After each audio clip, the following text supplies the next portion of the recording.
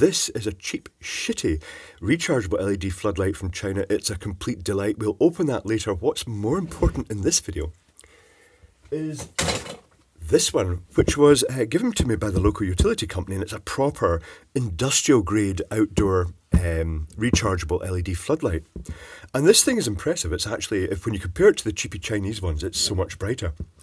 And they said it wasn't taking a charge. And the first thing I did when I got it was, well, let's uh, take the let's take the feet off it so we can actually fit more of it under the camera. But the first thing I did was I got a, one of these jack leads because it's designed to charge from anything from about 12 to 24 volts. It's designed for sort of vehicular use. So let's get uh, that out the way. I'll just drop that down the floor. So I plugged this in. Where is it? Another notable feature, the uh, little bung that goes in here does actually seem to stay in. Uh, and a lot of the uh, cheapy ones, that just pops straight back out again. So I plugged it in, stuck it on the power supply. I'll tell you what current it takes, in fact. Although it is fairly recently charged. So let's uh, just stick this on, uh, put the power supply on, wind it up to about 12 volts. 12 volts.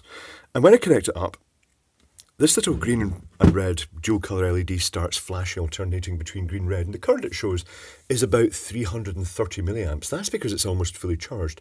And as I turn the voltage up to say 16 volts, it goes down to 240 milliamps, and that suggests it's actually got a converter inside. It's actually got proper charging circuitry.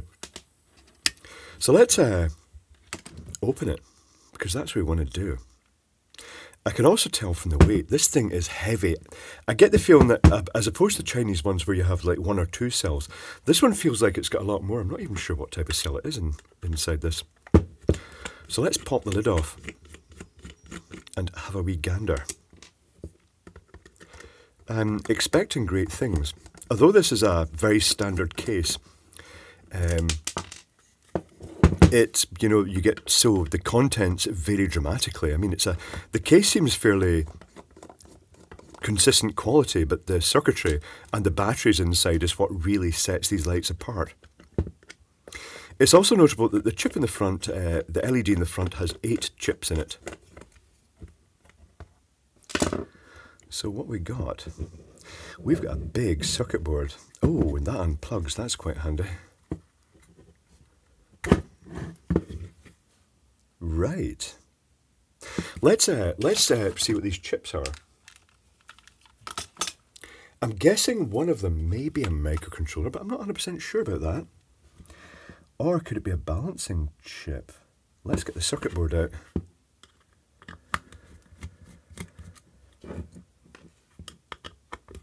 Let's see what batteries. I can see there is quite a fat battery pack under here. Does it give the spec? That looks like a four cell battery pack under there with two wires going down to it, so the balancing is on board, which is pretty common for these. The LED is connected, just it's just stuck into a three-way connector there, which is a common enough technique. The rest is fairly typical. They really have crammed in though. They've to get the battery in, they must have pushed these switches in after the battery had been inserted, and likewise the charging port. Everything looks fairly typical compared to the other type. Oh, look at the inductor in the back. Oh, two inductors.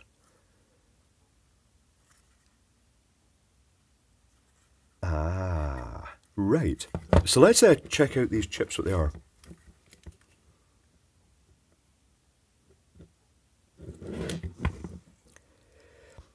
XL Semi XL4001E1.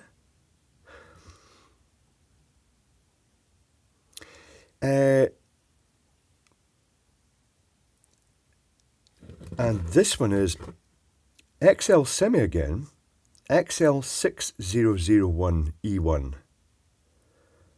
The other chip, oh, there's no number on it. The bastards. Why do they do that? Uh, so this chip here, I'm guessing, oh, there's another position for another chip.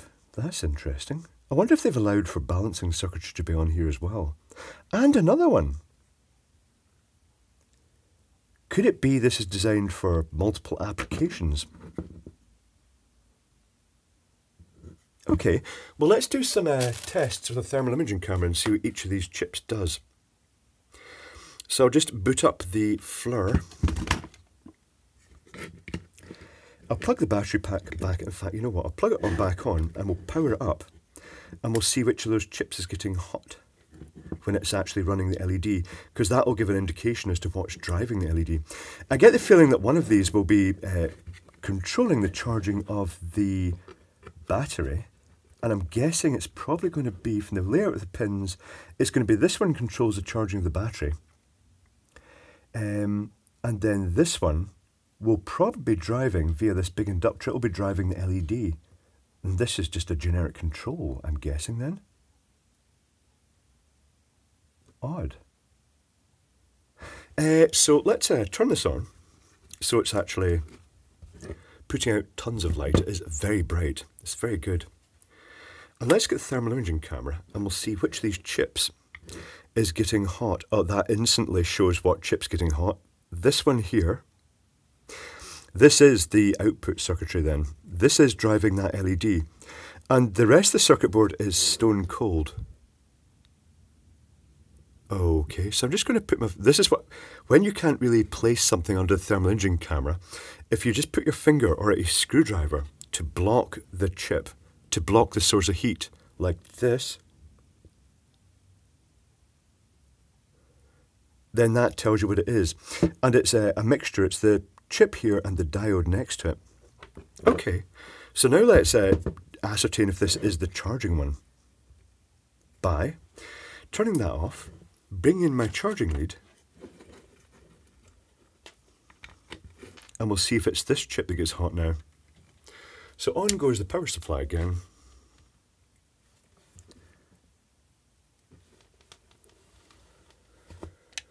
Output on about 13 volts. It's drawing 400 milliamps. Oh, instantly. The chip that's getting hot is, yeah, these diodes and this integrated circuit are now getting hot. So that does indicate that they are controlling that side of things. Bit of residual heat from that, but it's only residual heat, and uh, this is stone cold. That is Odd. I'm guessing this must be a microcontroller for some reason, or a dedicated charge control chip. You'd have thought there'd be built-in protection in the battery pack itself, particularly given it's got two leads going down there. But this thing looks pretty chunky. This uh, looks like a robust and fairly expensive unit. Who's it actually made by?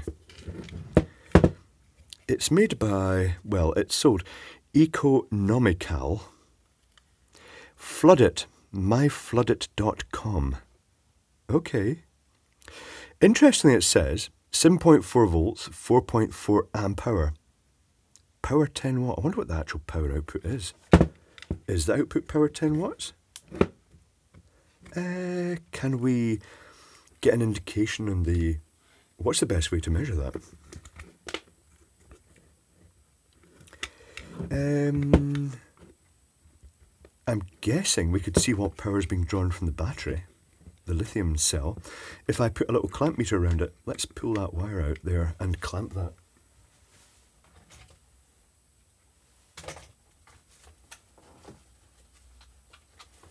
So I'll bring in a little DC clamp meter. We'll turn it to current. Select DC. null it out, and I'm guessing the voltage across that LED, I'll measure the voltage across the LED as well.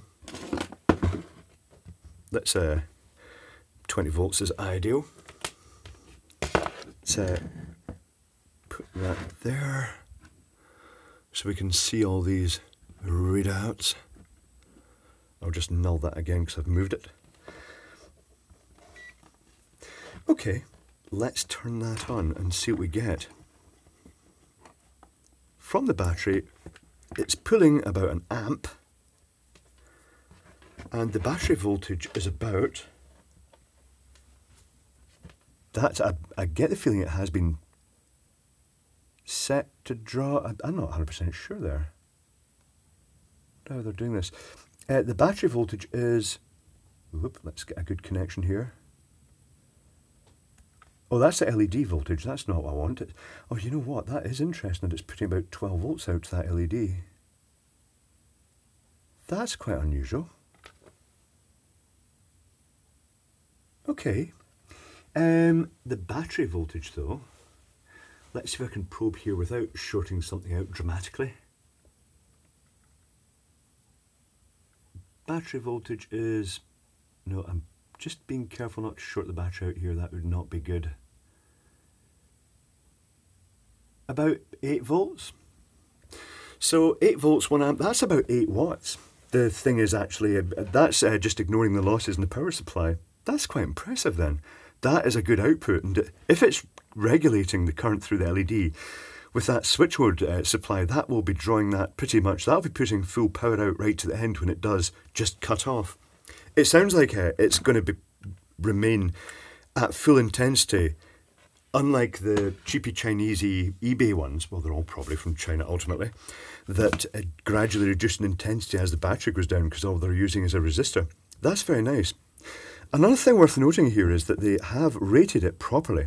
Um, it's got four cells, but they're wired uh, as two in parallel and two in series, so it gives a combined voltage of 7.4 volts, and they're rating at 4.4 amp hours, so they're using 2.2 amp hour cells.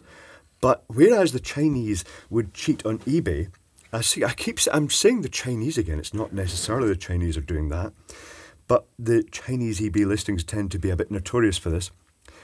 Whereas uh, when you have the amp hour rating of battery, it's whatever amp hour it can supply at the battery's voltage. So in this case, the voltage is about 7.2 volts on average because it's two sets in series. So they've uh, taken the uh, combined the fact there's two at 2.2 amp hour providing uh, the. Th what's the best way to put this? There's two 2.2 ampere in parallel, but then in series. So effectively it is 7 volts at uh, the 4.4 ampere, but the Chinese would cheat. They'd call this an 8.8 .8 amp hour battery because they just say 1, 2, 3, 4 cells putting out uh, the 2.2 ampere each and they just add them all up. It's just a little trick to cheat the ratings on, on the eBay listings. But this is nice, it's very nice. And I shall, uh, well, it, it's fixed, it just needs a charger and uh, I'll see if they want it back then because uh, there's nothing really majorly wrong with it. I'm looking at the big wires there. That must be the inductor. Look at the huge wires coming through onto that side with the big blobby solder joints in the vicinity. Yeah, this is nice. That's how a proper light should be made. Um, but having said that, uh, it's probably going to cost a lot more than the generic Chinese uh, eBay ones. But the Chinese eBay ones will be, oh, you know what? Screw it. Let's open a cheap Chinese eBay one right now. so here is the the arch nemesis. This is the crappy one. I can tell already it's so light. And it comes with a charging lead. And a charger. It comes with two chargers. It comes with this, this charger and a USB charging lead. And it says in the back, uh, 7.4 volt, 2.2 amp hour. And that to me would normally say there's two cells in series with uh, a rating of 2.2 amp to each to actually give the combined the higher voltage. And when you charge this, the charger itself, although it's a sort of standard USB output in this, it's got that sort of dual colour LED thing going on that if you put it on to charge and it is drawing current, uh, the red LED lights, and then when this stops drawing current, I'm guessing there's just a protection chip that cuts off inside, then this will uh, go green uh, and I've noticed that if you plug this into different uh, sources, it, it, really it just pulls the current. It pulls the voltage down to. Well, let's see what it pulls the voltage down to. Uh, I shall plug this little thing in here, and if you can't see it, I'll just read what it says. So at the moment, it's showing an open circuit of 5.5 volts. When I plug this in, it goes down to about 4.6 volts, and it draws 450 milliamps. So it's pulling the voltage down the output of that. If I then plug this into, say for instance, a good beefy power supply like this uh, one here, which is putting out 5.1 volts, now it's holding the voltage. It's putting, it's just dropped slightly, it's down to about 5.02 but it's now putting about 850 milliamps. So I don't think there's any really major current limiting going on in there. I think they may be doing that trick where, actually, you know, is it boosting the voltage up. Let's open it. Let's open it and take a look inside. I'm very suspicious this is not 7.4 volts. Where's a suitable screwdriver? I had a suitable screwdriver. I've put that suitable screwdriver down and misplaced it. There it is. Let's not hold our breaths for this because uh, it wasn't a terribly expensive one. And to be fair, I have tested it and it ran for the full four hours. It reduced in intensity over time, suggesting that it's just a resistor. And it did come out at about 2.097 amp hour. So it is at least about a 2 amp hour cell in this, or pair of cells. This one has a lot of LEDs uh, in the front of it. I'll get the back off first and then we can take a look at the front. I already popped the front off the Posh one. There's nothing under the cover other than the LED. It's just the LED in its own.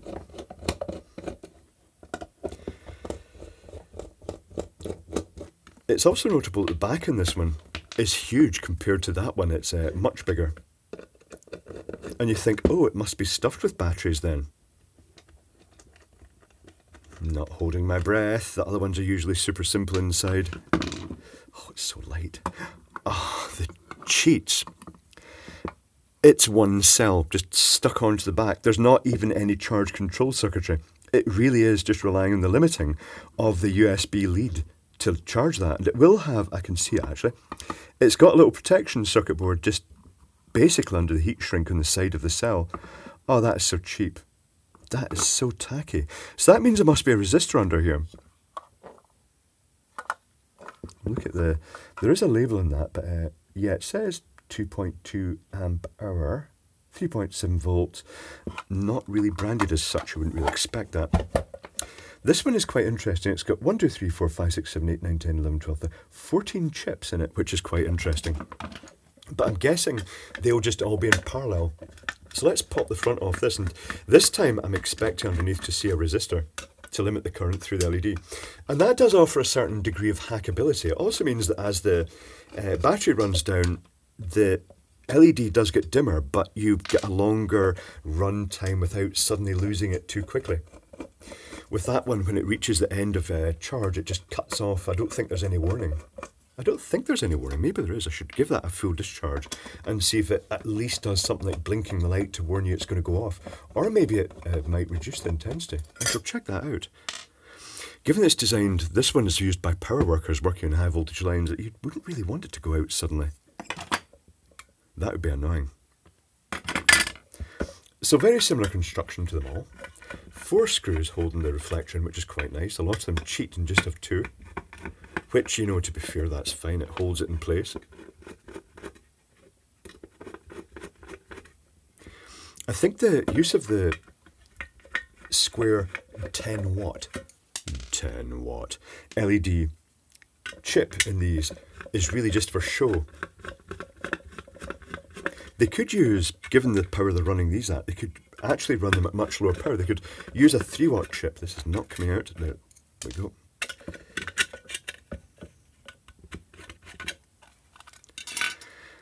Oh, it's not even a standard chip. It's just the sort of uh, cob with a little dam round it on a circuit board. And two sheared screws by the look of it. Unless those are indents. No, they look like sheared screws. I think they've had a bad time putting this guy. Oh, and a 1.2 ohm resistor. That's what's limiting the current. So this does offer the opportunity that if you wanted to change this to run for a longer time at lower power, you can change that resistor value. Or you could stuff the back absolutely full of batteries. Lots of options for hacking these. They're worth it just the case alone. Uh, this could be replaced, given it's not running at very high current. Uh, what is the current it's running at? We can work that out by measuring across that resistor. Can we actually get access to that? Hold on. I shall improvise. We shall do scientific experiments here. We'll measure the voltage across the resistor from the switch, which goes to the resistor and then to the LED and we can work out what current this is actually running at. So let's start by, yeah, let's turn it on. Swamp out. I guess it's going to be quite a low voltage dropped across that. We'll leave it at the 20 volt setting. And I'm going to connect the positive onto the positive that's feeding down from here, and then onto the other side of that resistor, it's showing 0.87 volts. Let's work that out. I equals V 0.87 volts divided by the value of that resistor, which is 1.2 ohms. The current flowing is about 700 milliamps. And the voltage across that is going to be about 3 volts. Let's measure the voltage across that.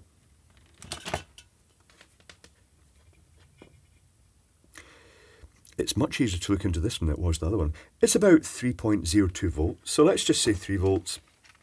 So that's 0.72 amps times the 3 volts of the LED. It's 2 watts. It's putting out uh, so a fraction of the power of that one. Although having said that, in a dark room, they didn't look bad. It was very obvious that that one was a lot brighter. The industrial one was a lot brighter, but this one still puts out a useful amount of light. It also suggests that for that rating, you could just use a standard, uh, I'll turn this off, Luxeon Starish style uh, LED. You know, things like these.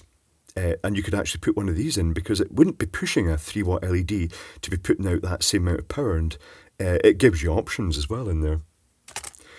Uh, but I think this is just for show to make it look like a the high power LED. But yes, uh, this one is very good quality. I'm guessing it's quite expensive. I don't know the cost of that particular unit. Uh, this one was a cheapo. It shows it's kind of empty, but it still works, and it is at least it's a case that you can use for other things. But this one is quite nice. Still intrigued as what that chip's for. It's not immediately obvious, and there's an awful lot of circuitry on here, and really huge amount of circuitry. I think I'll uh, put this on test. I'll let it run down, see if it gives any warnings when it's about to go off.